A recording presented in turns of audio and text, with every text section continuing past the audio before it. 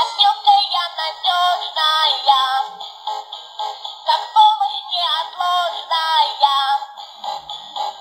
Если надо, подойдешь, дай, пожалуйста, шепнет, и все, что накопилось, у меня возьмешь.